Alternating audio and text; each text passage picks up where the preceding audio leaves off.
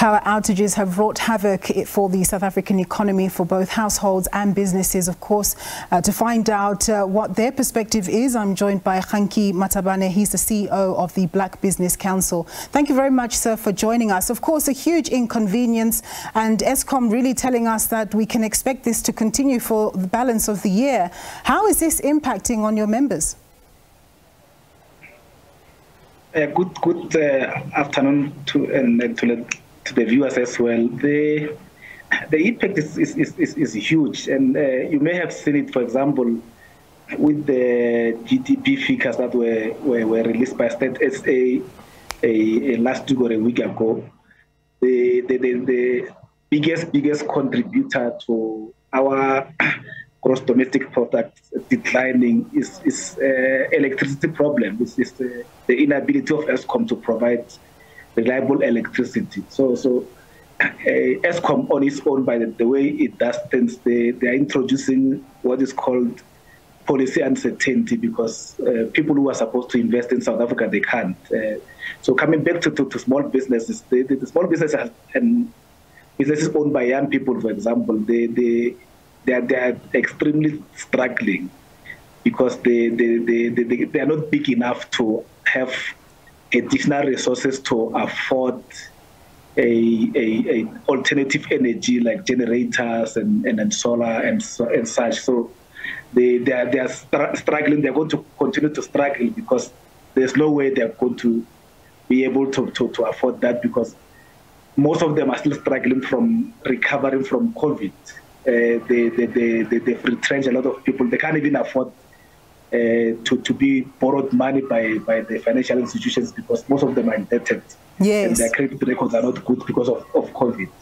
Mr. Matabane, we did hear from uh, the president about announcement, an announcement to uh, help assist SMEs who have been struggling as a result of what's happened in the past with COVID-19, uh, the floods and even the unrest and so on.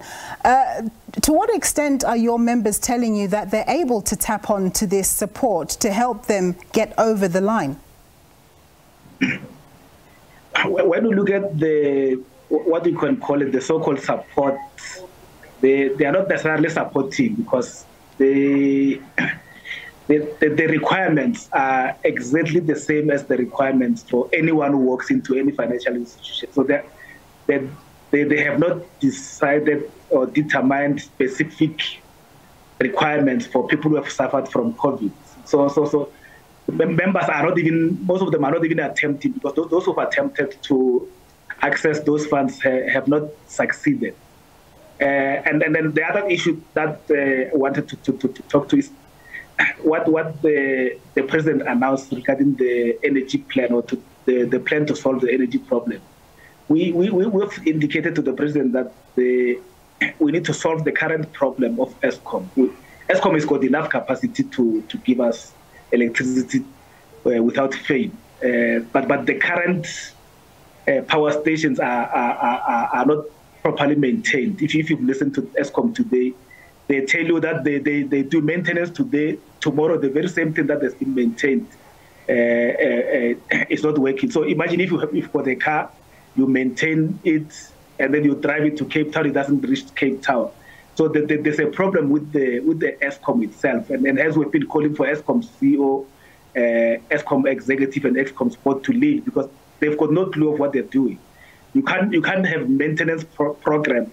Uh, you maintain the power station this week, next week the very same power station that we maintained last week is off. It, it, it shows the problem is also internal. There's a problem of of uh, incapacity uh, regarding uh, as far as the leadership of Eskom is concerned. Yeah. So in the interim, given what you say, and given that things are clearly not working and the energy interventions are going to take longer than we would like, what is it that you guys are brainstorming at the BBC, at the B, uh, BBC and other uh, you know, business organizations about how to deal with the situation in the interim? Because the reality is that the, the service providers we wish to provide us with a service can't really do it optimally.